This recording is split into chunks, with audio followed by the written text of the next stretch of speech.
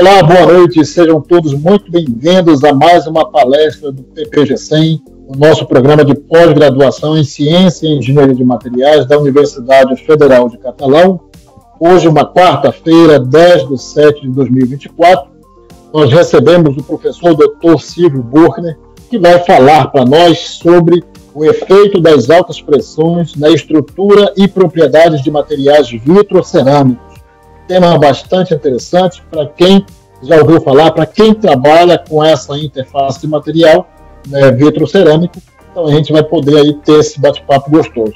O professor Silva ele é graduado em Física pela Federal de Santa Maria, é mestre em Física pela Federal Universidade Federal do Paraná, doutor e pós-doutor é, no Instituto de Física da Federal do Rio Grande do Sul, onde é professor adjunto ao departamento do Instituto de Física e coordenador do programa de pós-graduação em ciências do, do, dos materiais.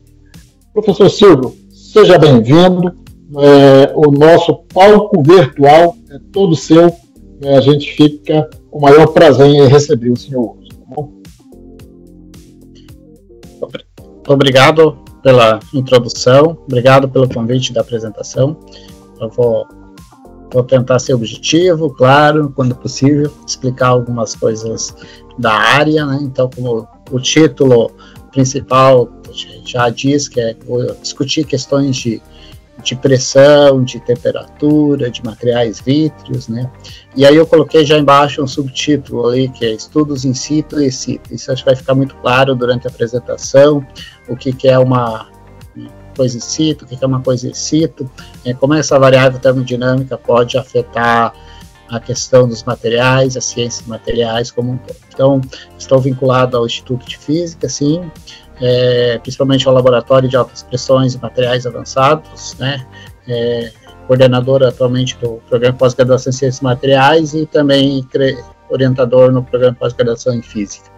Então, é, nessa palestra de hoje, né, a gente poderia aqui dar um enfoque bem geral, né, diferentes áreas. A gente está dentro de um, de um laboratório multidisciplinar, né, que envolve principalmente ciências materiais, mas envolve física, envolve química do estado sólido, tem uma conexão muito forte com a geociência e também uma conexão é, com a engenharia. Então, a gente tem professores vinculados basicamente a esses institutos, né?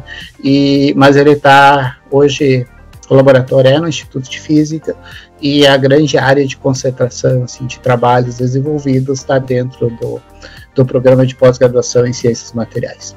Então eu vou falar, não necessariamente nessa ordem, mas eu vou primeiro discutir um pouquinho o que, é um vidro, o que, que é uma vitrocerâmica, como que a gente faz um processo de transformação de um vidro em uma vitrocerâmica, para que fazer isso, né? Seja um vidro convencional, seja um biovidro, para que, que a gente faz isso? É, quando a gente fala de pressão, né, o que, que é uma alta pressão, que escala a gente está tá falando, né, de pressão, é, é, é, uma ordem de em atmosfera, em gigapascais, como a gente define, como quanto a gente consegue atingir hoje no Brasil, né? Qual que é a, a nossa ordem de grandeza, né? E diferentes sistemas de aplicação de de pressão, seja eles de grande volume ou sistemas de pequeno volume, que é os que a gente chama de DAC, né, as câmeras de diamante. É, isso envolve experimentos tanto no laboratório, principalmente no nosso, no de altas pressões, mas envolve também, além da universidade, né, envolve a utilização das grandes máquinas de infraestrutura que a gente tem disponível para estudar essas ciências materiais em condições extremas. Né? E, claro, tudo isso vai estar sempre com foco nos resultados científicos que estão por trás disso. Então, aqui algumas máquinas que eu vou falar brevemente, né, tipo Sirius em Campinas, o Eletra na Itália, o SREF na França, né, que são, trago alguns resultados obtidos por, pelo nosso grupo é, nessa, nessas grandes máquinas de, disponíveis para estudar pressão é, aplicadas a materiais vítreos. Então eu vou falar aqui para vocês ainda nessa linha, né? Aqui estão algumas das composições que a gente vem trabalhando com mais foco, né? De silicato de lítio, de silicato de bário, germano silicato de lítio, o, o próprio ouvido soda line, né? Então, cada um com um objetivo específico, mas todos dentro de um foco principal, que é qual é o efeito da pressão nas propriedades, na estrutura desses materiais. Quando falo de um vidro, eu estou interessado na ordem de curto alcance desse material, ou seja, eu quero olhar como que está a organização atômica desses, desses elementos, né, os primeiros vizinhos. Não estou falando de materiais cristalinos, mas estou falando de materiais amorfos. Né, como que a, a distribuição dessa ordem, como que eu consigo quantificar esses resultados. Depois vou pegar, a gente vai discutir, depois discutir o que é um vidro, a gente vai discutir um processo para transformação desses vidros em vitrocerâmicas, através de um processo de cristalização controlada, tanto em pressão atmosférica como em alta pressão.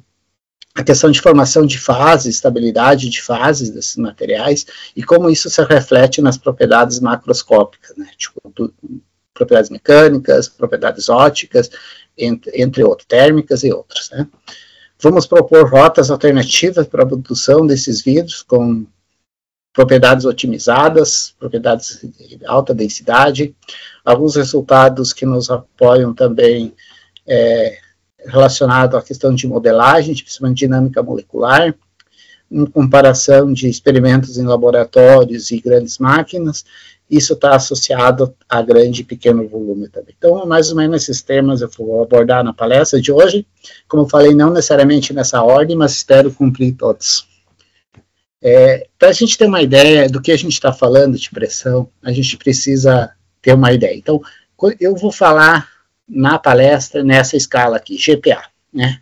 O que, que é um GPA? Um GPA equivale a 10 mil atmosferas. Tá? A gente está, né, pressão atmosférica, a gente está aqui. Essa pressão atmosférica equivale a 0,1 megapascal. Né? Então, só para a gente ver aonde que a gente está conseguindo mudar as propriedades dos materiais. Né? Aqui, um ponto importante, né? Ponto das fossas marianas, do fundo oceano, que vale a 0,11 GPa, 110 megapascal. Essa é a pressão que a gente consegue aí no fundo do oceano. E aí a gente tem os outros pontos, que é o diamante, né? Formação do diamante em função da pressão. É, com catalisadores em torno de 6 GPa, sem catalisadores em torno de 10 GPa. Tá?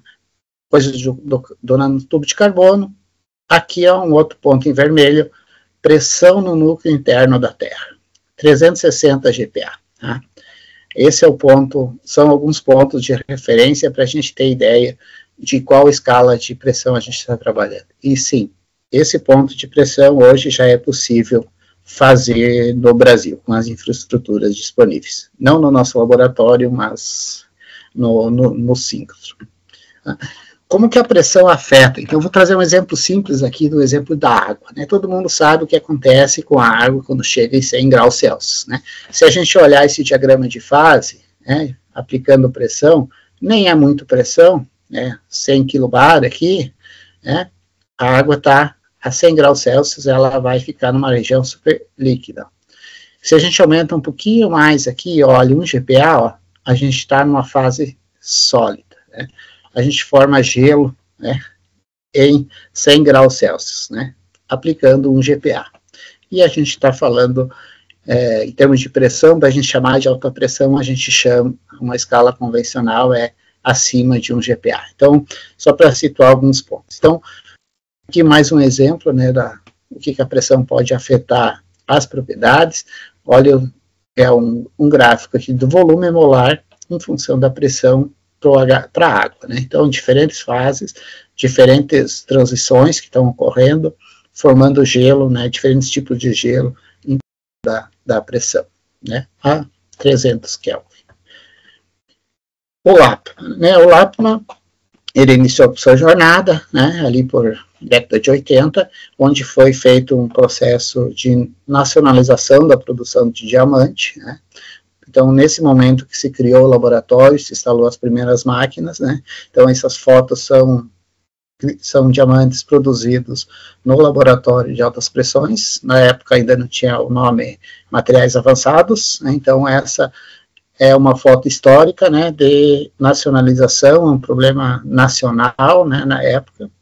Saiu em diferentes jornais a, essa infraestrutura, né, de jornais importantes, e então foi foi um marco muito importante não só para o laboratório, mas como para o Estado como um todo.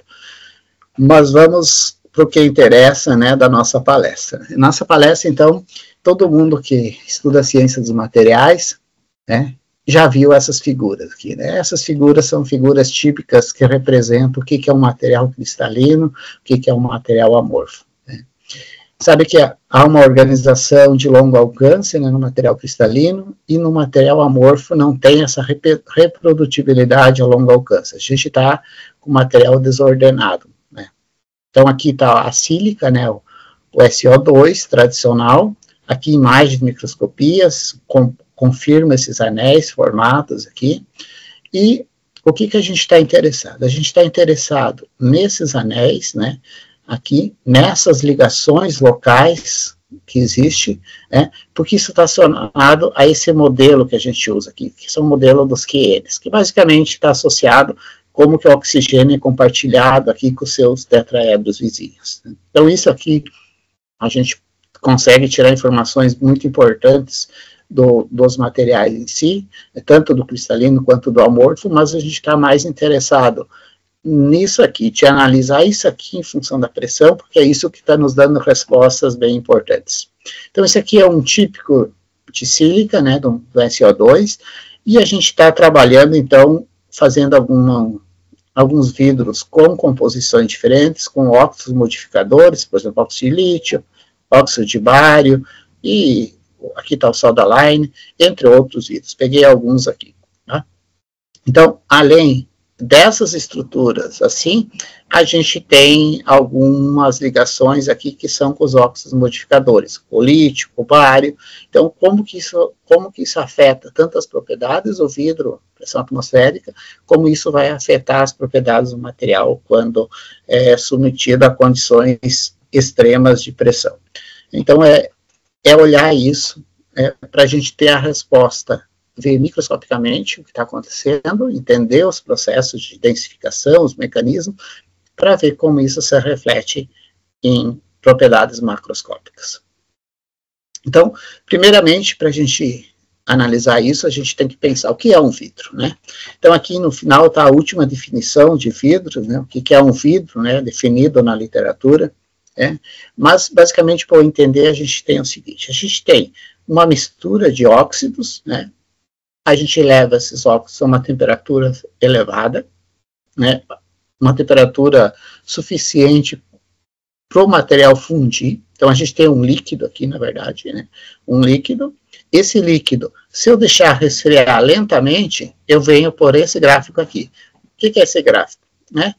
o material vai evoluir para a região de menor energia e eu vou ter um cristal, vou ter um material organizado. Se eu seguir essa linha aqui, essa preta aqui, eu vou ter um líquido congelado.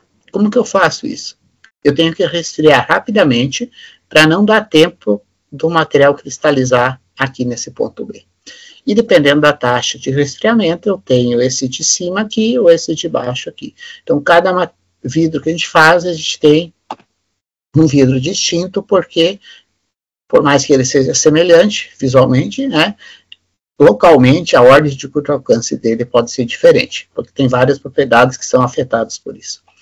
Então, depois de fazer esse vidro, né, a gente é conhecido da literatura, é conhecido da engenharia, que geralmente passa por um processo chamado anil, que é o quê? É tirar as tensões residuais desse vidro para que ele fique sem essa, essa propriedade de tensionado. Né? Então, a gente faz um tratamento térmico controlado de anilha e alivia essas tensões. Só que isso está associado a duas coisas. Um, é uma questão de relaxação estrutural desse material, né? vai tirar essas tensões, e outro pode estar associado a surgir os primeiros embriões desse material, a surgir núcleos cristalinos. Então, pegar o vidro que a gente tem aqui, e trazer ele para essa linha reta aqui embaixo é transformar o vidro numa estrutura similar ao do líquido superresfriado que lhe deu origem. E aí a gente está nessa linha aqui, que é a estrutura de um líquido superresfriado. Então, esse processo é conhecido, a gente consegue monitorar bem, consegue trabalhar com isso. E o próximo passo é identificar as temperaturas características presentes num vidro. Então, geralmente se faz um DTA ou um DSC, a gente identifica glass transition, né, temperatura de transição vítrea, temperatura de cristalização e, claro, a temperatura de fusão. Para que isso? Porque nessa região aqui da transição vítrea é onde que a gente tem a formação dos núcleos, dos embriões e dos núcleos. É, todo que atingir um, um, raio crítico vai ficar estável e os demais vão ser dissolvidos pela matriz. Então, isso é questão de termodinâmica, né, conhecido. Então, claro, a gente procura um Tmax aqui para otimizar essa formação desses, desses núcleos.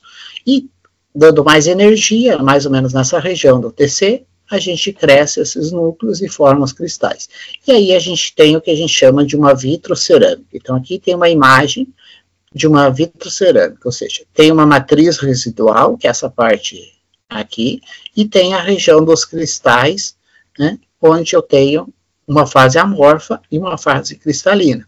Então, isso forma uma vitrocerâmica. Essa aqui é do silicato de lítio. Então, formando uma vitrocerâmica. Para que fazer isso? Controlando o tamanho, o número né, desses cristais, eu consigo estudar modelos de cinética de cristalização, né, termodinâmica do material, eu consigo otimizar propriedades, seja elas de, de, mecânicas, óticas, elétricas, controlando essa formação desses cristais. É tentar sempre otimizar as propriedades do vidro com as propriedades da vitrocerâmica.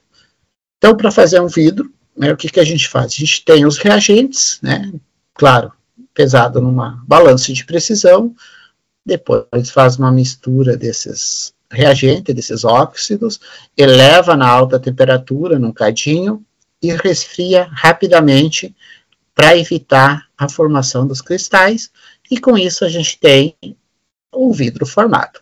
Né? Então, tendo esse vidro, vai para análise térmica, identifica as temperaturas, e aí é possível formar vidro cerâmica. Então, esse é o processo convencional de fazer um vidro. Né? Aqui do lado eu tenho uma outra vitrocerâmica, né? onde eu tenho uma fase metastável aqui no centro, uma fase estável aqui do lado, em torno da meta estável, e eu tenho aqui do lado aí de uma matriz amorfa. Então a gente consegue é, tanto estudar esses processos de formação, de mecanismos, de, de formação dos núcleos, de crescimento dos cristais, mas também otimizar determinadas propriedades desses, desses materiais como, como um todo.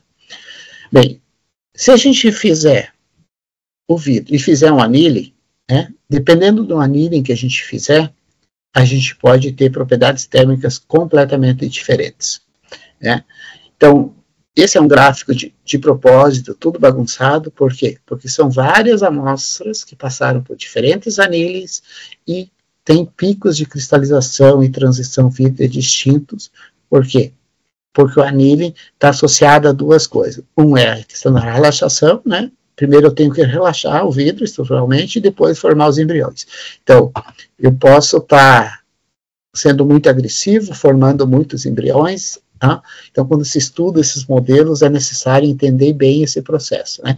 Justamente essa transição aqui, ó, do vidro para a estrutura do líquido superresfriado. Ainda amorfo, mas a gente tem que controlar. Então, isso aqui Claro, tem os comportamentos, dá para ver bem aqui embaixo, né? Em função da, esse aqui em função da temperatura, temos em função do tempo e vários outros. Mas para olhar o que acontece aqui, né? O que, que a gente tem que fazer? A gente tem que olhar a ordem de curto alcance. A ordem de curto alcance é obtida através do, fator de estrutura do material. É, esse fator de estrutura do material, ele vem de uma medida de difração de raio-x, né, normalizada aqui, eu entro com uma medida de difração, claro, uma medida com um lambda adequado, com uma energia adequada, e eu faço algumas contas e eu chego nessas funções aqui de baixo, na GDR ou na RDF, né, que vamos dar a distância interatômica média das ligações dos elementos que estão presentes na amostra. Tá? Então, a ideia é essa, esses cálculos não são difíceis, não, é só algumas continhas. E aí a gente tem um fator de estrutura, por exemplo, em função dos aníleis realizados. Esses fatores de estrutura vamos dar RDF. Então, por exemplo, esse pico grande aqui, ó, é um pico silício-oxigênio, típico para esses materiais. Esse do lado aqui que, que eu tapei é um oxigênio lítio. Oxigênio, oxigênio, silício, silício. Então, dependendo da posição, da largura desses picos, a gente tem informações bem importantes sobre a ordem de curto alcance do material. Então, aqui do lado, a gente tem um gráfico de distâncias em função da temperatura de anilha. Então, veja, está tá mudando e aqui a gente tem informação de duas fases, uma meta estável e outra fase estável, conforme tinha já indicado anteriormente. Então, veja, é uma ordem de curto alcance cuja estrutura local é compatível com a formação dessas duas fases, tá? É, a gente identifica nesse trabalho ali, né, então discute essa questão, mas mostra principalmente que, primeiro, há um movimento do óxido modificador, né, nesse caso o lítio, para depois ter um movimento mais coletivo, que é o silício oxigênio dos tetraedros principais. Tá? Então, isso é, entendendo bem o que é um vidro, né, a gente está apto a fazer alguns experimentos em função da pressão, pressão e temperatura. Então, o que, que eu vou conversar com vocês um pouco agora é a infraestrutura disponível no laboratório, né, onde a gente fez os vários experimentos que eu vou mostrar aqui, as infraestruturas disponíveis em máquinas de grande volume, o que, que a gente estudou em cada uma delas, e simulações de dinâmica molecular complementando os resultados do laboratório de altas pressões. Né? Então, essa aqui é uma das máquinas de altas pressões que a gente tem, de altas pressões. Então, como que funciona? É uma, uma, uma prensa, realmente, é uma prensa uniaxial, a gente aplica uma carga aqui, né, prensa de 400 toneladas, essa aqui. Aqui no centro, a gente tem as câmeras de alta pressão, que são essas em zoom aqui do lado, elas são construídas com vários anéis de interferência, aqui, aqui tem questões de engenharia muito importante, o desenvolvimento dessas peças aqui é uma coisa bem fundamental, tá? e dentro no meio vai esse material branco aqui. Esse material foi desenvolvido pelo laboratório também já há alguns anos, e esse perfil e essa geometria com todas as peças é o que faz com que a gente tenha uma força uniaxial e a gente consiga transmitir a pressão em todas as direções, fazendo com que o sistema seja hidrostático. Né? Então, a minha amostra, que está aqui no meio, eu aperto um vidro, por exemplo, a temperatura ambiente a 80 mil atmosferas, eu tiro ele de lá sem trincas. Então, é um indício bem significativo que a gente está num sistema hidrostático. Né? Então, como que a gente faz isso? Né? A, gente, a ideia é, a gente pode fazer várias combinações de experimentos, mas, no geral, a gente vai aplicando uma força até atingir a pressão que a gente quer, e depois a gente mantém uma rampa de temperatura. Então, a gente pode fazer experimentos nessa máquina, nessa escala de pressão, e em temperatura aí até 2.000 graus Celsius. Aqui, ó, vocês perceberam, aqui eu tenho um vidro né, uma amostra vítrea que saiu aqui de dentro inteira. Então, as nossas amostras para essa máquina tem essas dimensões. A gente pode mudar isso, sim, mas aí temos que recalcular todos os vetores de tensão para tornar o sistema hidrostático com um novo tamanho. Mas não é não é uma mudança tão radical, assim, tão maior ou tão menor. É mais ou menos nessa escala que a gente otimiza esse sistema. Bem, é, todo mundo deve lembrar é, pressão, força sobre área. Né? Isso aqui você esquece quando a gente está falando nessa escala de pressão. Né? Então, como é que a gente calibra a pressão? Né? Para ter certeza. Né? A gente tem materiais referências, né? os calibrantes. Então, a gente põe um calibrante aqui no meio da nossa célula de reação e faz passar uma corrente elétrica e monitora aqui a resistividade desse material.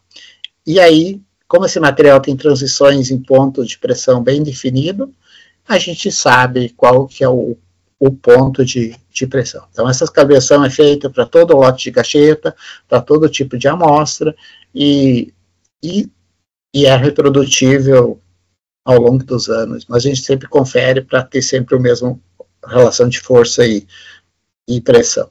Então, tem outros materiais calibrantes também se usar no sistema, mas esse é um dos mais convencionais. Temperatura. Bem, temperatura a gente faz um furo nessa célula de reação, passa um termopar lá no meio e tira uma curva de potência e temperatura. Né? Temperatura em função da potência. Então aqui tem, dá para ver as inclinações diferentes, porque são, são para pressões diferentes.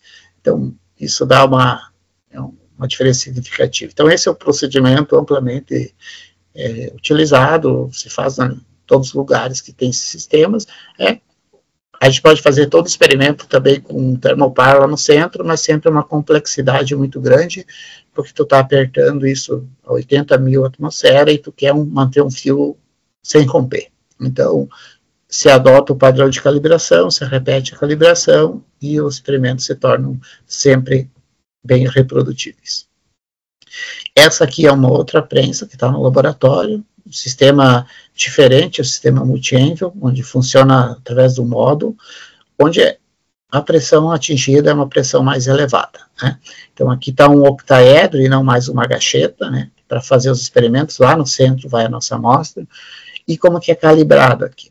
Até pressões de 8 dá para usar o ponto fixo, que eu acabei de mostrar, e pressões mais elevadas a gente calibra através de uma transformação de fase. Por exemplo, a gente forma estiovita, impressão na, em torno de 11, de 9 GPa, dependendo da temperatura, 11, dependendo da temperatura. E aí você levanta essa curva aqui de temperatura e pressão, e aí você tem os pontos de calibração. Então, aqui tem uma foto é, do sistema após abrir a amostra. Aqui está a amostra novamente, é, ainda sem limpar, mas está aqui, e aqui está o resultado do experimento. Então, vai montando, é tipo um Lego, vai montando, tem que estar tudo muito bem alinhado para que o sistema avance é, corretamente. Outro sistema de aplicação de pressão é o sistema de bigorna de diamante. Né? Então, aqui tem uma foto da câmera de diamante do laboratório, e essa é um sistema de pequeno volume. Então, aqui, ó, no centro vai a nossa amostra, que é o equivalente aqui, ó. Então, aqui eu tenho a minha amostra, eu tenho um material calibrante, que eu já vou falar dele, nesse caso Rubi, e esse mais azulzinho aqui é um meio transmissor de pressão, para que o sistema fique hidrostático. E eu ainda posso pôr um anel de uma resistência aqui para aquecer o meu sistema, tá? Então, uma, até uns 500 graus Celsius. Então, aqui tenho dois diamantes, um aqui e outro aqui, coloco essa gacheta no meio e vou aplicando pressão. Qual que é a vantagem desse sistema? Como a gente tem dois diamantes, né, o diamante é transparente. Ele passa o raio-x e passa um ramo, por exemplo, né, um laser ali, posso aquecer minha amostra por laser também. Então, posso medir in situ, eu posso, enquanto nos de grande volume que eu mostrei anteriormente, tu vai lá, faz o experimento, tira uma amostra e vai medir, vai caracterizar ela. Aqui não. Aqui eu posso medir difração e ramo, principalmente, enquanto eu aplico pressão. Então, eu estou vendo a transição no momento de aplicação de pressão. Claro, é um sistema de pequeno volume. Né? Não vou lá e medir dureza, por exemplo, é mais difícil. Tá? Como que a gente calibra a pressão nesse sistema? É uma medida in situ. Aqui está uma medida da fluorescência do rubi. Tá? Através desse pico aqui, ó, eu sei qual que é a pressão que está. Esse pico vai deslocando em função do aumento da pressão e vai se alargando aqui à medida que eu estou perdendo a hidrosticidade. Então, para melhorar isso, velocidade, eu uso um meio transmissor de pressão. Né? A ideia é aquilo. Se tiver um líquido, está perfeito. Né? Mas o líquido sempre às vezes vaza. Né? Então, os primeiros e mais tradicionais foram óleo de silicone, mas o óleo de silicone, veja, tem um probleminha aqui, logo aqui ele já perde a hidrostaticidade dele. Né? Essa curva aumenta, é uma perda da cidade. Derivados, esse aqui a gente tem o Daphne, e temos aqui uma mistura de etanol, metanol, né? que é o, em termos de laboratório, é o mais utilizado hoje, porque ele está bem hidrostático aqui e demora bastante para subir aqui. O melhor de todos é gás, né? Então, sistema a gás para melhorar a hidrostaticidade. Veja, a gente vai numa escala de pressão muito mais elevada e a gente ainda está num sistema extremamente baixo aqui da questão da, da, do desvio. Como que a gente faz isso? Dentro daquele furinho lá que eu mostrei para você, a gente coloca vários rubis. E vai medindo todos eles, calculando média, desvio padrão, e vai fazer. O problema do sistema gás é o valor para montar e a disponibilidade. Então, hoje no Brasil, a gente só tem um sistema gás que está no CIRS. Né? Todos os laboratórios utilizam geralmente essa aqui, porque até uma faixa de pressão aqui está bem tranquilo, mas não significa que não dá para ir além. Dá para ir, só que tu começa a incluir um acompanhamento cisalhante também. Então, falado um pouquinho de pressão, né, vamos falar um pouquinho dos resultados. Então, resultados de amostras de grande volume, ou seja, vou aplicar a pressão, a temperatura ambiente, ou pressão e alta temperatura simultaneamente, e depois vou retirar as amostras e vou medir. Tá? Então, nesses sistemas de grande volume, né, como eu falei para vocês, para entender vidro, a gente tem que entender a questão da transição vítrea, a temperatura de cristalização. Então, veja, aqui tem um exemplo de um trabalho onde a gente fez uma série de experimentos mostrando como que muda a transição vítrea, como que muda o pico de cristalização, é, que estão as temperaturas, e como muda essa taxa de formação desses cristais aqui em função das amostras que passaram previamente por alta pressão em temperatura ambiente. Então, veja, Aqui a taxa de pressão atmosférica, 2,5, 4 e 7,7. Então, esses mecanismos de formação, de mudanças, estão associados a uma questão de, aqui depois vou falar, de uma formação de uma outra fase nesse 7,7, né, e também associado a uma questão que a gente está rompendo o, re, o, regime elástico do material. Então, tudo isso é, é possível quantificar a partir desses, desses resultados. Quando os experimentos são feitos não em temperatura ambiente, mas alta pressão e alta temperatura simultâneo, a gente tem, além das mudanças na morfologia, os cristais tem uma mudança de fase também. Então, esses cristais aqui de 7,7 são de uma fase diferente das formadas abaixo de 4. Então, essa é uma fase chamada metasilicato de lítio, que se discutiu muito na literatura se ela existia ou não existia nesse sistema, e aqui a gente consegue, usando pressão, manter ela estável, tem cristais aí de até 100 micrômetros, né? Então, aqui estão as difrações dessas amostras. Então, olhar o tamanho, a forma, o número, a gente pode modelar isso para modelo de nucleação, a gente pode olhar só uma questão de fases, né? Então, se a gente olhar uma questão de fase, a gente tem nesse sistema a fase estável, até 4 GPa, que é a mesma de pressão atmosférica. Depois a gente tem uma separação, ó, nesse metasilicato. Veja, está faltando um SO2 aqui para fechar a fase de partida. Esse SO2 vai ser uma fase que vai formar quartos coisita, que é o SO2, são fases de alta pressão, ou uma fase amorfa aqui. Então, a gente tem um mapeamento dessas fases em função da pressão aplicada, pressão e temperatura. Mas para entender bem isso, né, essa origem dessas transformações, dessas mudanças de fase, a gente tem que olhar novamente a ordem de curto alcance. Olhando a ordem de curto alcance, né, a gente vê que nessas de 7,7, a gente tem uma largura desse pico diferente, a gente tem formação de pico em outras posições, né, e se a gente analisar esses picos, essas distâncias, eles são compatíveis com essa fase metasilicato de lítio. Então, a gente conseguiu discutir bem e associar isso a uma questão de formação de um poliamorfismo, ou seja, duas fases amorfas, né? Porque a gente está um pouco acima do limite elástico desse material e a gente está evoluindo para a fase estável. Mesmo não tendo temperatura para crescer os cristais, a gente consegue identificar qual que é a fase. Isso se reflete drasticamente nas propriedades mecânicas desses materiais, né? então a gente tem aqui um aumento muito significativo das propriedades mecânicas, né? quando essas fitocerâmicas são formadas em alta pressão. Então esse é um artigo aqui que foi publicado na área já há um tempo, mas é, foi um artigo muito bem aceito por causa da trabalhar com vidros, um desafio sempre é melhorar as propriedades mecânicas. E a gente mostrou uma maneira de melhorar significativamente. As propriedades óticas também mudam bastante, né? tem um aumento do índice de refração dessas amostras, porque as fases formadas são mais densas, porque foram densificadas. Né? A gente tem uma, partindo aqui do vidro, né, um aumento significativo dessas fases, né? da, da densidade né, do material e, consequentemente, das, das fases. Tá? Então, motivado por todos esses trabalhos realizados no laboratório, a gente também utiliza as grandes máquinas, né, como eu falei. Então, hoje a, a nossa grande máquina para fazer pressão é, sem dúvida, é o Sirius em Campina. Né? Então, motivado pelo poliamorfismo, motivado por essa formação dessas diferentes fases, né, a gente é, mandou propostas ali, a gente tem um trabalho é, colaborativo também com o pessoal da linha EMA, tá? que é a linha de altas pressões.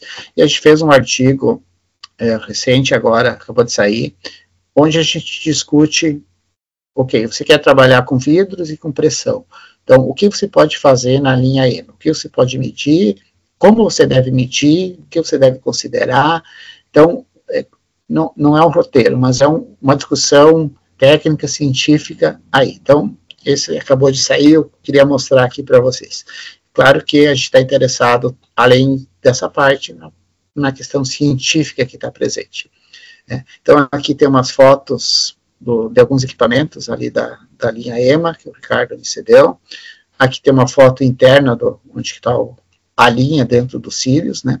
E aqui é onde que a gente coloca a amostra. Né? Aqui tem, vai estar a câmera de diamante, né? E aqui vem o raio-x, aqui vem o Raman, então dá para medir simultâneo.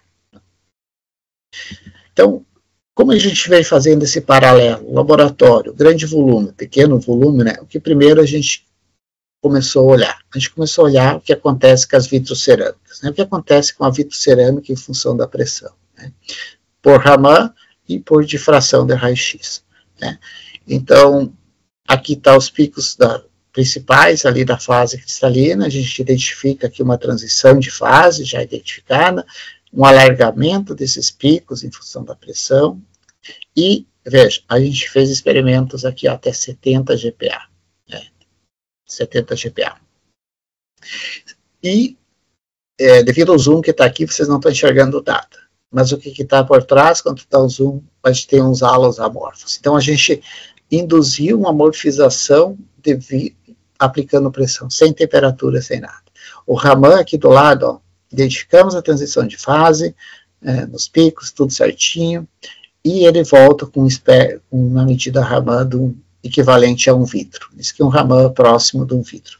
Ah, então, esses são mecanismos, são questões físicas que a gente discute, é, como que isso, como que a pressão afeta. Aqui está o Raman do vidro, em função da pressão, também para uma pressão daí até 50, escala de 50 GPa, como que esses picos vão mudando, vão deslocando, desaparecem e depois voltam. Então, como tá num, a gente está num com meio completamente hidrostático, regime elástico um pouco maior, então esses são alguns exemplos de resultados recentes.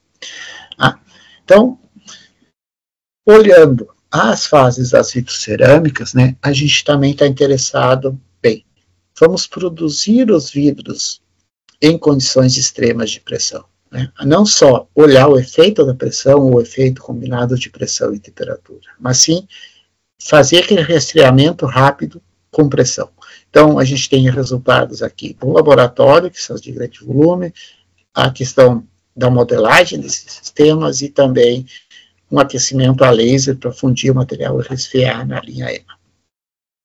Então, pensando na produção de, de, de vidros, né, é, usando o mesmo abordagem que eu mostrei anteriormente, né, fazendo esse, aplicando pressão, aplicando temperatura e fazendo um quench super rápido, né, a gente tira uma amostra assim. Então, mostrando que o sistema de refrigeração é super eficiente, a gente tem vidros completamente diferentes, com propriedades completamente diferentes. Então, se a gente olhar aqui, ó, tem uma medida de difração de raio-x, onde aqui estão os, tem os dois picos, né, o halo amorfo do material, ele vai diminuindo as intensidades, vai deslocando, isso afeta a ordem de curto alcance do material que a gente está calculando, e aqui estão as propriedades térmicas desse material. Cada condição que a gente aplicou tem propriedades térmicas completamente diferentes. A gente tem vidros diferentes com estruturas completamente diferentes, tá? isso reflete nas propriedades mecânicas. Ó, a nossa amostra A é o vidro padrão, feito em pressão atmosférica. Essas outras aqui são os vidros produzidos em alta pressão, com a mesma composição. Então, veja, sai de propriedades mecânicas aqui 6,5, pouco menos, numa escala acima de 8. Né? O mesmo vale para o módulo acidade, o mesmo vale para as propriedades óticas, o índice de refração, para propriedades térmicas. Então, uma das maneiras de produzir estruturas desordenadas, né, de alta densidade, pode ser utilizando, então, alta pressão. Esses resultados também, né, de ódio de curto alcance, que são a RDF ou GDR, é, em colaboração que a gente produziu um, um trabalho de, de, modelagem, de dinamismo molecular, para entender o que acontece, por que, que isso está acontecendo, como que localmente o que, que muda. Então, vejo a simulação e os dados experimentais estão completamente coerentes, concordando. Né? A gente tem é, resultados aí até 30 GPa. Então, o que, que a gente tem de alguns destaques aqui? Então, a gente está olhando muito nesse regime aqui, em torno de 7.7 GPa. Nesse regime, o que acontece? Começa a iniciar uma mudança de coordenação, é, saindo do SO4 para o SO5, SO6. É, então, vai, enquanto vai caindo a quantidade de SO4, vai aumentando as outras. Então, a gente tem uma mudança de coordenação no nosso sistema, induzido pela pressão para esse sistema. Isso também se reflete como que o nosso óxido modificador, lá no caso, o lítio particularmente, como que ele vai mudando em função da pressão. E esse ponto é mais ou menos o ponto onde isso está mais significativo. Isso se reflete também aqui nos ângulos das ligações, ó, novamente, duas fases, né, dois ângulos, por quê? Porque um é é o 4 e aqui começa a aparecer as demais coordenações. Né? Então, isso são, os dados experimentais são, são resultados é, ex-sitos, né? então a gente está trabalhando aqui em colaboração também para fazer in situ isso, para entender se tem alguma fase metastável aí também. Outra maneira, né, foi utilizando daí as câmeras de pequeno volume, as pequeno, de pequeno volume, pequeno volume aqui a gente tem é, uma amostra, claro, pequena, a gente coloca um vidro, um material calibrante, é, gente criou um mecanismo ali de aquecer por laser e fundir o material. Então, isso foi feito em, na linha EMA do Sirius também, é, tempos extremamente curtos, né, para monitorar isso, a gente preferiu olhar as fases cristalinas, e elas foram perdendo os picos, ou seja, foram amorfizando. Aqui está para ver, é, não devia ter dado um zoom melhor, mas aqui dá para ver um halo amorfo iniciando, então, um amorfo a intensidade é menor. Aqui do lado, o espectroscopia Raban também vai desaparecendo esses picos, principalmente nessa região aqui, que são a região dos picos mais intensos. Esse aqui é o material calibrante que a gente colocou, esse pico principal. Você tem que olhar essa região aqui. Então, é uma maneira de também produzir essas estruturas de alta densidade. Tá? Então, tudo isso está relacionado a uma questão mais de pressão do que uma questão propriamente de combinação pressão e temperatura. Tá? Então, aqui tem um, um, exemplo, um trabalho do Rafael. É. Veja, a gente está interessado nessa parte aqui também, né? na parte tanto de relação, mas a região de formações dos embriões. É, a gente está interessado de como que a nucleação ocorre para poder conectar eles com modelos termodinâmicos. Então tem uma série de amostras feito pressão, temperatura ambiente e depois foi feito um tratamento térmico para formar as vitrocerâmicas, que são esses cristais dentro dessa matriz amostra. Se a gente contar esses cristais, né, várias imagens, várias amostras, criar uma estatística disso aqui, a gente consegue levantar o número de núcleos formados em função do parâmetro termodinâmico que a gente está trabalhando. Então, esses núcleos formados aqui nessa região, né, eles são afetados pela aplicação de alta pressão. Então, aqui, ó, embaixo a gente tem o raio dos cristais formados, né, não muda muito em função da pressão, mas a taxa de nucleação, o NV, é bastante afetado pela aplicação de pressão. Né? Por quê? Porque a gente muda a transição vítrea em função da pressão e porque também a gente está passando de um regime elástico para um regime plástico. A gente tem que identificar bem qual que é esse ponto aí. Então, aqui tem o dá para ver bem claramente como que é o comportamento em função da pressão. Né? Isso também, além da dessa taxa de nucleação associada aqui, esse, através da, da, contagem dos cristais, né? Claro, a gente tem o Raman aqui, a gente olha os QNs, como é que ele está acontecendo, que, qual que é a, a, física presente aí. Bem, feito isso de grande volume, né? É, vamos olhar então esse amorfo dentro de uma câmera de diamante. Né? Vamos olhar o que, que acontece in situ para esse vidro. Né? Então, a gente tem aqui, aqui é uma barra de 50 micrômetros, né? dentro daquele furinho da gacheta a gente tem uma amostra, aqui a gente tem um meio transmissor de pressão, que é esse mais cinza, nesse caso um gás, e o um material calibrante aqui, no caso rubi. Tá? Então, usando essa abordagem aqui, a gente mediu o Raman nesse ponto da amostra, a gente mediu raio-x nesse ponto da amostra, a gente mediu raio-x aqui do lado para poder fazer a questão das compensações. E, claro, voltou para os cálculos, né, para dar uma olhada né, do fator de, de, estrutura e depois obter a GDR. Né. A gente tem um limitador ainda, porque as câmeras de diamante têm uma limitação angular, então não nos permite um K muito alto, é, isso nos tira um pouco de informações, mas mesmo assim, a gente conseguiu medir, que é um grande desafio, tem pouquíssimos trabalhos na literatura que consegue fazer esse tipo de coisa, né? Então, medir aqui o raio-x, ramo, fazer as subtrações. Aqui a gente tem, olha, a difração do raio-x em função da pressão da fase amorfa. Então, essa fase esse pico principal vai deslocando e tem o surgimento do segundo pico aqui, que está associado justamente a uma, a uma, segunda fase, a uma mudança no regime elástico do, do nosso material também. Aqui do lado, a gente tem a medida do gás. Veja, a gente está conseguindo medir um gás, medindo difração dentro de uma câmara de diamante, identificando uma transição no próprio gás. Então, a gente tem a difração, tem o gás, a gente tem que subtrair. Então, isso é feito tudo no mesmo ponto de pressão. Então, vai, estabiliza a pressão, né, mede a difração na amostra, no gás, para poder fazer a subtração um do outro. E mede o Raman, tudo no mesmo ponto. Então, a gente tem as informações exatas né, do mesmo ponto de, de pressão. Faz um na sequência da outra.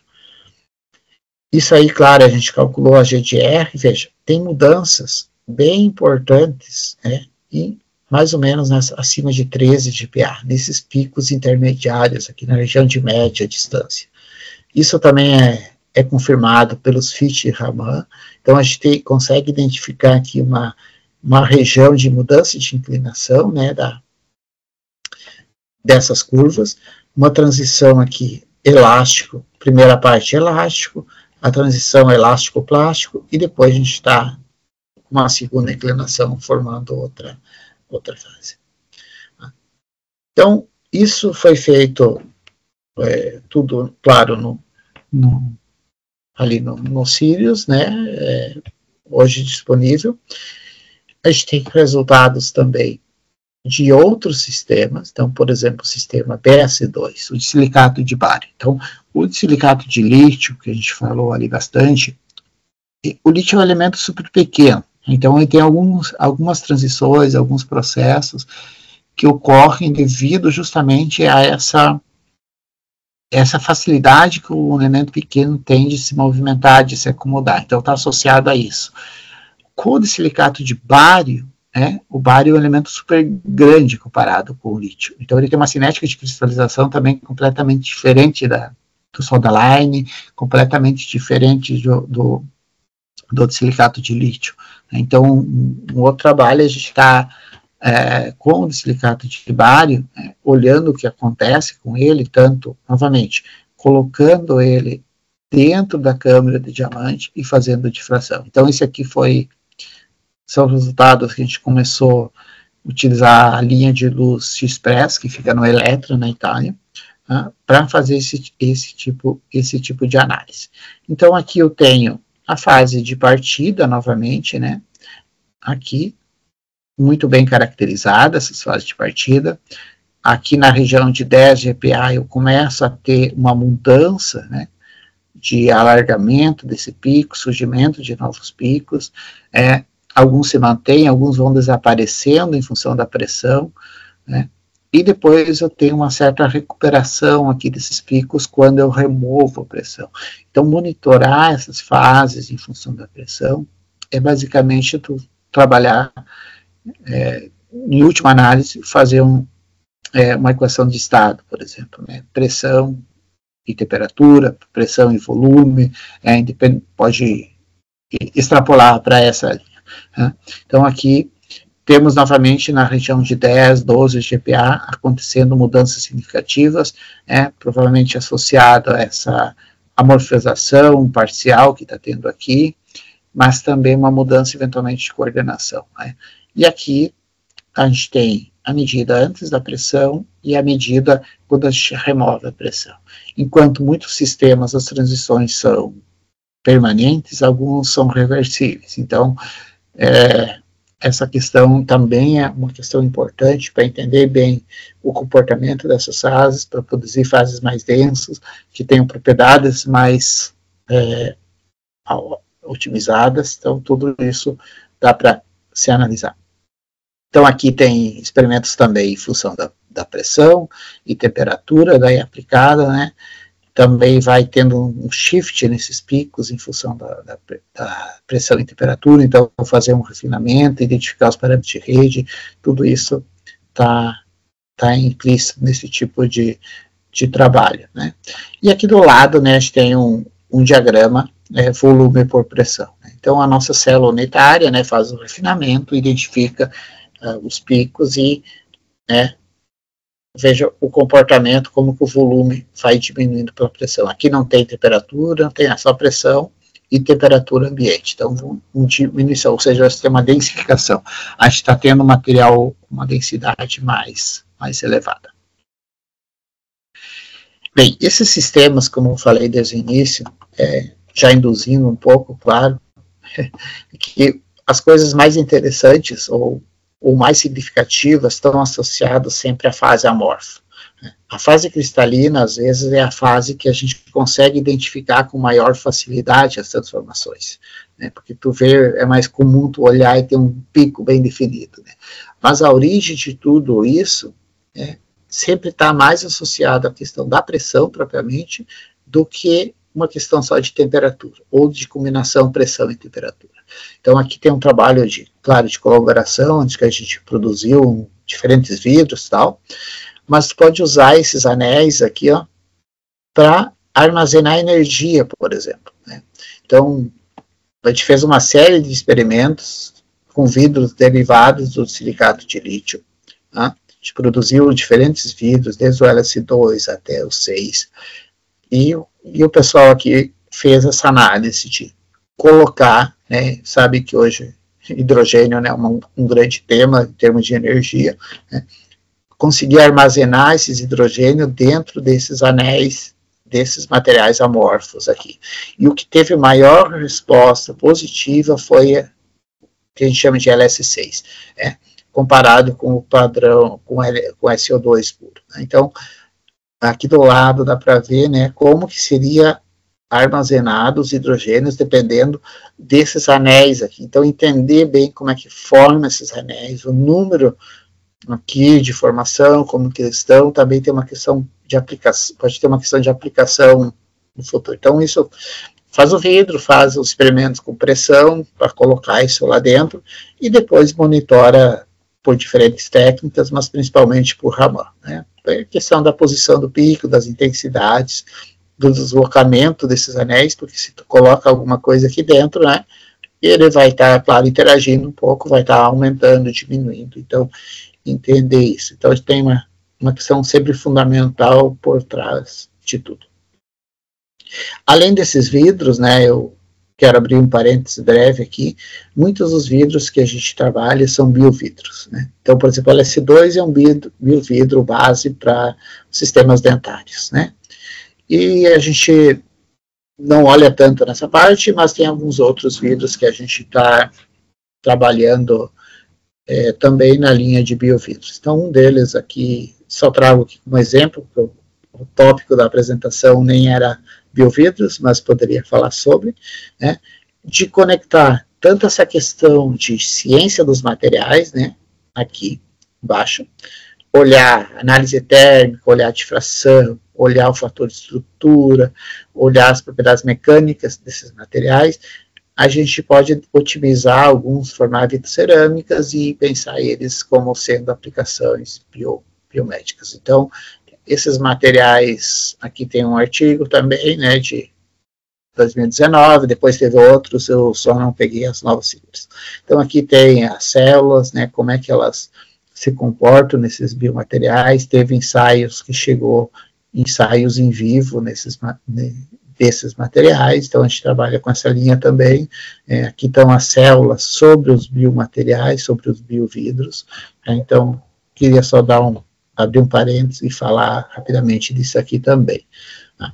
Então, pessoal, é, além disso, né, então o que, que a gente a gente faz, né, no geral? A gente trabalha como ser um laboratório nessa interface de diferentes áreas, né? O tema principal, sim, é ciência dos materiais, mas a gente a gente tem trabalhos ali que são bem trabalhos de física, de modelos, né? A gente tem trabalhos que é, é mais química do estado sólido, a gente precisa de, de engenharia para otimizar o sistema, para conseguir pressões mais elevadas também, para sistemas mais hidrostáticos, para mexer nas taxas de resfriamento, para fazer as câmeras de pressão, então tem materiais cerâmicos são aplicados, então a gente faz um pouco de tudo no laboratório, né? um pouco de tudo, mas a gente, é, a gente, a gente quer basicamente entender os mecanismos de densificação dos sistemas vítreos, né, dos sistemas desordenados, para poder otimizar a questão macroscópica, que são as propriedades. Então, para isso, a gente usou diferentes vidros aí, os, os mais estudados são esses, tem outros também. Olhamos a questão da ordem de curto alcance, formamos vitrocerâmicas de diferentes condições de pressão e temperatura, olhamos a questão da formação, estabilidade de fase, suas propriedades, né, propomos uma rota alternativa para a produção de estruturas vítreas de alta densidade, utilizando alta pressão. A gente tem começado nessa linha de tentar modelar esses sistemas, né, em colaboração, claro, eu não conheço, não sou, não sei fazer direito, mas não dá para fazer tudo sozinho. Fazer um paralelo, né, aqui é uma coisa importante, né, é, entre in situ e situ, o que é estável, o que é metaestável. Então, para isso, a gente precisa sim fazer os laboratórios, os experimentos em laboratório e fazer as caracterizações in situ, é uma coisa fundamental que a gente mantém, mas alguns experimentos também têm que ser feitos in situ para justamente estudar a questão de o que, que é uma transição permanente, o que, que a gente está mudando é, não permanente, uma coisa metastável, né? Então a gente poderia discutir aqui um seminário basicamente para cada um desses itens, mas eu escolhi fazer um geral, mostrar um pouquinho de tudo para poder discutir as coisas com vocês. Né? E o que, que, é um grande volume? Eu mostrei uma amostra de grande volume para vocês, é, de 3 milímetros. Né? Sim, existe amostra de grande volume, um pouco mais, mas quanto maior a pressão, claro, você não consegue tão grande volume, né? Então, mas essa escala aí, 3 milímetros, dá para medir tudo com ela, né? Dá para medir tudo. A gente está testando hipótese e modelo, a gente não está tão querendo tirar um produto final, né? Existem lugares no mundo que tem máquinas maiores que tiram produtos finais, isso é tranquilo, tá? A questão é é, a gente não tem ainda. Né? E as pequeno volume é o mais difundido aí no mundo por ser uma coisa mais versátil, mais pequena, né? As máquinas grandes exigem realmente uma estrutura, um suporte muito grande e a gente é, no Brasil é, tem, temos a URGS e a Federal Fluminense que tem um outro foco com máquinas de grande volume, mas no mais é só só o LAPMA na, na, na URGS, no Brasil. E aí esse pequeno volume, a gente tem um, um, grupos bem difundidos em vários lugares do país. O grupo de pesquisa hoje aqui, mais ou menos, são esses, então tem alguns, é, a grande maioria está ligada ao tema de vidros ou ao tema de altas pressões, a grande maioria vidros e altas pressões, né, e e basicamente alguns alunos de doutorado, alguns alunos de mestrado, alguns alunos de C, outros, uns bem direto ligados ao LAPMA, outros mais em colaboração, mais, acho que tem, tem um só que não é o Avner, que é aluno que eu oriento na química, na, com o professor da química, os demais são todos ligados diretamente ao LAPMA. Então, os professores, né, aqui o professor Jornada, que quem criou o laboratório, já aposentado, mas ele ainda vamos dizer assim, temos um respeito grande por ele. Então, esse é o, mais ou menos o, o grupo atual né, do LAPMA, não do PGCIMAT, né, porque daí é, envolve vários grupos de, de pesquisa. O objetivo aqui era falar um pouco de pressão e sistemas vídeos. Quero agradecer aqui, claro, a todo mundo, a gente de fomento, né, aqui está o, o Instagram do laboratório, né, ele está de tempo em tempo ele é bem atualizado, às vezes fica um pouco desatualizado, mas ele, a gente mantém uma certa regularidade nas atualizações. Aqui está a página do laboratório, né, vocês vão encontrar a infraestrutura completa, os artigos publicados pelo, pelo grupo como, como um todo. E obrigado a todos. Obrigado mais uma vez, professor Silvio, pela sua brilhante palestra aqui conosco. É, agradeço. Aí, já vi que os seus alunos estão aqui também conosco. Olha, sejam bem-vindos à palestra do PPG 100, viu? É, foi sensacional. Eu, eu, sinceramente, assim, de vidro eu tenho acompanhado o colega Antônio de Pádua, que depois vai fazer com certeza perguntas com relação a vidro, mas é, eu acho que eu vou, eu vou dar uma fora, professor. Se, e se eu der uma fora, você pode me corrigir e me criticar. Eu estou trabalhando com material que é escória e nós encontramos fase vítrea, material na fase vítrea. É, então, é, isso representa pequenas estruturas semelhantes, só para me entender, aí eu já vou, a minha pergunta já é isso, porque assim, durante muito tempo é, eu sei que está ocorrendo fase vítrea com é, material de liga presente na escória que eu estou trabalhando. Essa fase vítrea seriam pequenos materiais que têm características de materiais vítreos é, durante o processo de formação da escória, porque a gente tem aí a produção de liga a altas temperaturas, né? Eu estou trabalhando com liga de com escória de liga ferrocromo e justamente estou tentando recuperar essa, esse metal contido na escória, só que algumas análises que a gente fez e alguns textos, algumas, alguns estudos anteriores sugerem a ocorrência dele na fase vítrea. Então, eu só queria que o senhor me, explicasse o que seria uma fase vítrea, nesse caso presente na escola, se tem ligação com a fase vítrea cerâmica. É, é, provavelmente, nesse caso, tu vai ter, como vem nesse alguma fase do SO2, né, com mais algum outro óxido eventualmente, e devido ao processo de resfriamento, tu não deu tempo para para tu evoluir para uma fase cristalina estável. Então, por isso que tu manteve a, a, a, a, estrutura amorfa ali no meio, vamos dizer assim. Essa estrutura amorfa, sim, pode ser inclusões de, de, uma, de uma fase equivalente a uma fase vítrea, sim, isso é, já vi algumas é, coisas sobre essa linha. Isso, é porque a gente tem justamente, eu tenho o SIO2, que ele é adicionado como fundente na produção de liga, né, e o consumo dele, lógico, vai dar origem ao metal completo e ele vai arrastar as outras frações.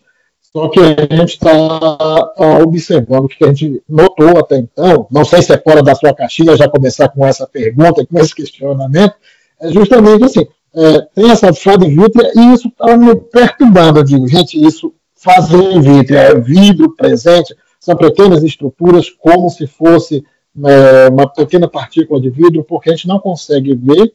Os estudos anteriores realizados sugerem a presença da, da liga, é, liga provavelmente associada a, a, justamente ao silício, né, que é adicionado como fundente, e na fase vítrea. Então, é, seriam pequenos corpos que a gente até chegou é, em alguns estudos de microscopia a observar, é, mas assim, para mim ainda estava meio que uma penumbra.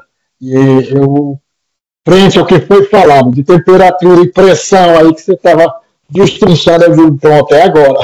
Sim, ah, sim ah, o SO2, né, ele, tu precisa uma temperatura acima de 1700 para fundir ele, né, para ficar a bem líquida, mas como tu tem metais junto, tu pode eventualmente baixar essa temperatura um pouco.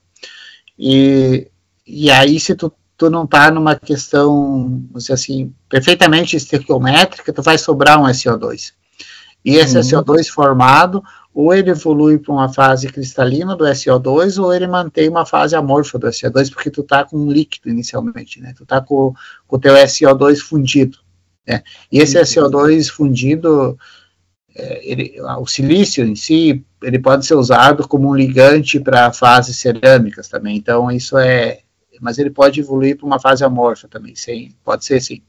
Ah, então, tu eventualmente consiga medir por Raman, pegar um Raman de uma resolução de, sei lá, 2 micrômetros, alguma coisa assim, ou menos, tu vai conseguir identificar alguma, alguns picos largos, né, que é característico de um, de um amorfo porque o metal não vai ter Raman, então se tiver alguma coisa, com certeza vai ser dessa fase. É, nós encaminhamos né, para análise justamente também por Raman, na, no LabMIC da, Federal do, de, da Universidade Federal de Goiás, justamente para conseguir identificar né, essas ocorrências dessa presença.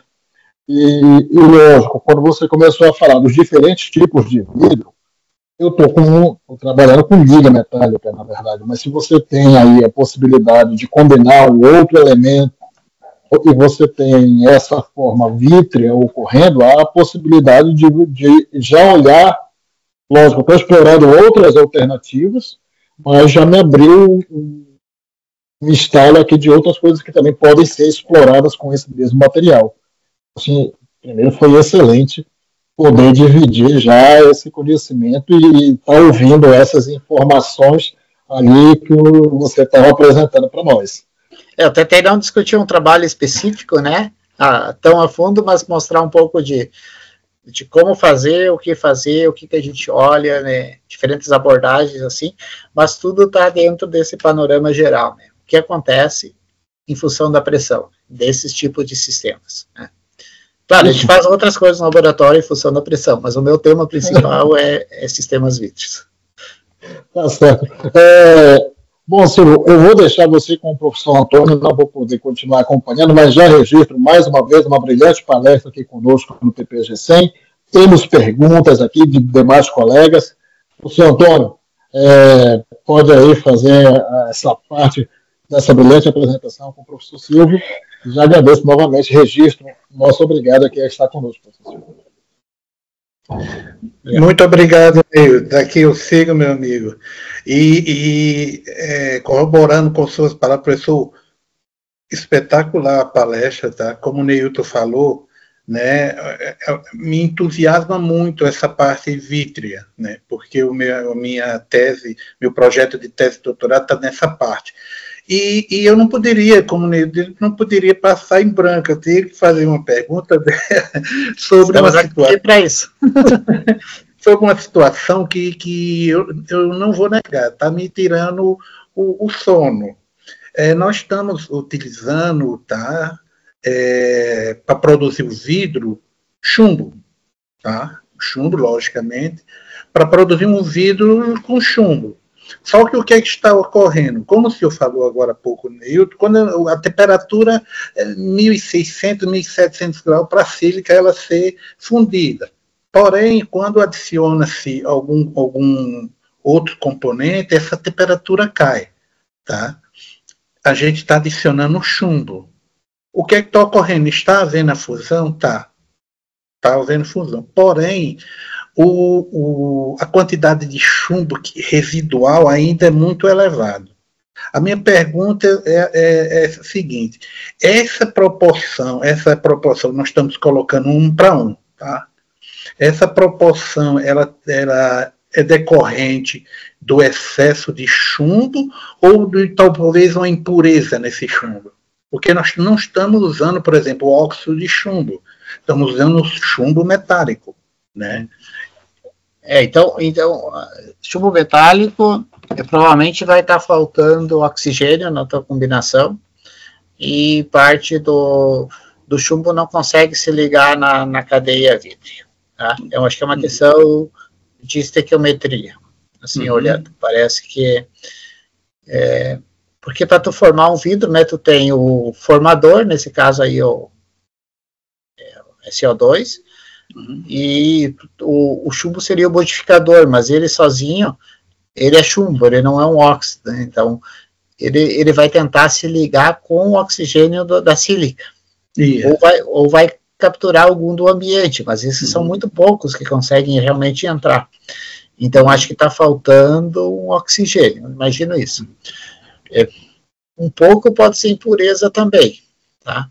Uhum. Uh, porque daí, se for uma questão de impureza, tu não, novamente, acaba não, não estando na estequiometria do, uhum. do teu material. Mas a impureza, uhum. não sei qual que é a pureza do chumbo que tu usa, é, é, esses assim que a gente faz é 99,5 acima, assim, então não sei.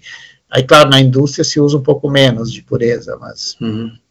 Mas é numa escala bem alta, assim, então, mas eu, eu, olhando assim de longe parece que é uma questão de faltar oxigênio. Falta oxigênio, né? é. tá ok. Muito obrigado, professor Ciro. Professor, temos é, é, pergunta da, da Aline, nossa colega Aline Lara. Ela primeiro é, é, parabeniza pela palestra, tá? E, e, informa que a formação dela é biologia e química, né? E ficou muito interessada nessa parte do vidro cerâmico para aplicação biomédica, né? Ah, ela disse que viu seu, sua tese de doutorado, né? E achou interessante o estudo de silicato de lítio, tá? A, a pergunta dela é a seguinte: como você vê a importância da introdução da biovitreocerâmicas que possam ser utilizadas na substituição de ossos humanos? Tá. É, quando, quando a gente vai os primeiros os biovidros, né, eles eles têm uma uma bioatividade assim significativa. Uhum. Quando forma as vitrocerâmicas tradicionais, a, a bioatividade deles cai bastante. Então, a, as novas aí, biocerâmicas, algumas composições, elas melhoram bastante essa, essa questão da interação com, com o corpo humano, né? E, e é uma linha que está crescendo muito, assim, então é uma linha muito importante, porque, porque as pessoas estão vivendo mais, né, tendo mais acidentes, e em uhum. último caso, né, em algum, a gente precisa, não exagerar aqui, peças de reposição. Né? A gente pode, podemos ser caso extremo, não é, não é o caso. Mas a, a, as vitrocerâmicas, as biovitrocerâmicas, elas são, assim, um, um grande ponto de discussão e é um grande ponto que, que merece bastante estudo ainda. É, tem muitos temas, muitas teses, que vão sair ainda com esse tema e é um tema realmente super interessante. Né? Então, acho que, que vale o investimento, vale sim. Muito bom. É, temos outra pergunta né, do Luiz Vinícius, que ele diz é, ele, ele parabeniza pela palestra, tá? é, ele diz o seguinte: vi que, um, que para amostras em, uma, em algumas pressões, os defeitos gerados nos vidros de sili, do disilicato de lítio não deixam as trincas bem definidas, impedindo o estudo das propriedades mecânicas. A pergunta é: existe algum método computacional que permite tais ensaios de maneira completamente numérica? É, na verdade, só complementando o anterior, então eu falei bastante pressão aqui uhum. sobre os bio. É, a gente tem poderia fazer um seminário aqui sobre os biovidros. Uhum. É, eu não sei se o Adrian está aqui ainda, tem outro aluno também terminando o mestrado nessa linha de, de biovidros. É, o Adrian é, não é só biofiltros, mas ele também está trabalhando aqui, então é um, é um tema que a gente aborda também e acho que, que é interessante. Sobre as propriedades mecânicas, né, é, impedindo o estudo, na verdade não está impedindo o estudo, né, o que, que a gente está observando ali são, é, se olhar os modelos de propriedades mecânicas, existe basicamente três tipos de trincas, né, as trincas radiais primárias, as secundárias e as laterais. Né, então esses tipos de são, são tipos de defeitos diferentes, são tipos de trincas diferentes. Então, tem, tem literatura sobre isso. Então, é, uma discussão ali não é, foi mais nesse sentido de é, que, é, que a pressão vai gerar outros tipos de defeito, outros tipos de trinca. Então, as propriedades mecânicas, você está pensando, provavelmente a tenacidade, a fratura, é, sim, a tenacidade, a fratura não dá para medir. Tá? Mas hoje a gente já sabe que a tenacidade de fratura é um método subestimado, não é o melhor método para avaliar a tenacidade dos materiais. Então, é, se pondera por ali. Então, a gente não tentou forçar a identificar o valor, mas mostrar que são defeitos diferentes e, de propósito, a gente não foi para a tenacidade, porque é um método subestimado e associado a esses outros defeitos uh, fazer ensaios numéricos, né, tem o método de elementos finitos, que é o que se analisa propriedades mecânicas numericamente, né, fazer simulação e, e caracterizar. É, eu só sei a ideia, nunca apliquei, porque é um método realmente é, mais complexo, assim, então é um, realmente é um trabalho para fazer isso aí. Então, tipo, ah, vamos fazer uma dissertação, vai ser fazer essa análise. Então, a gente não tem costume de fazer isso, então, se alguém conhece alguém que tentou fazer e parou, porque é realmente mais complicado, assim. Então, é, é esse método que se usa.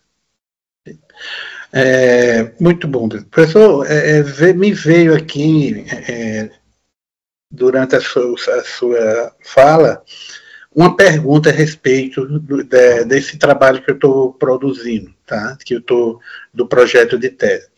Me diga uma coisa. Nós, estamos, nós estamos utilizando é, é, cadinho cerâmico refratário. Porém, nós estamos tendo um problema que parte da, da, do, da sílica, do vidro, ele está ficando é, aderido a esse cadinho. Né? Existe algum, algum desmoldante que possa ser utilizado ou o uso é obrigatório do, do platina cário?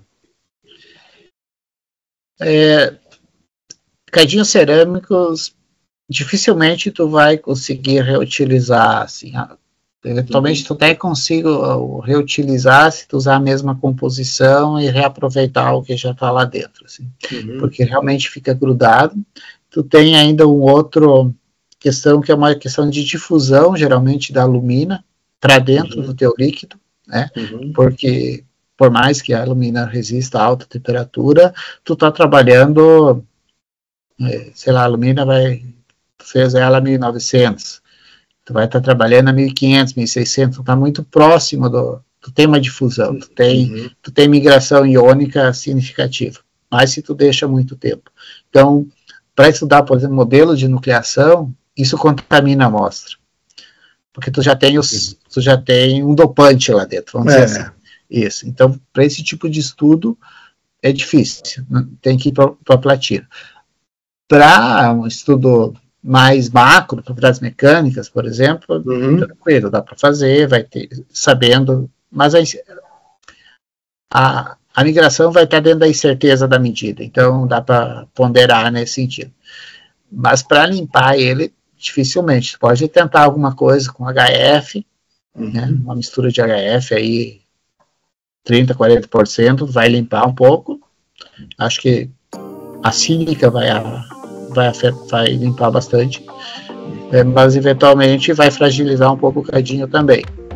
Então tem que ir aplicando HF com os cuidados necessários, muito, uhum. e, e monitorando a limpeza. Então é a única coisa que realmente ataca a sílica é o HF. Muito obrigado, muito obrigado. Professor, é, primeiro que tudo agradeceram, tá?